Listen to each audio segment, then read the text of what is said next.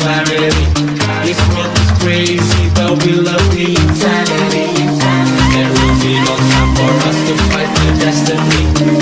I will never change my mind to live a fantasy. There will be a time for us.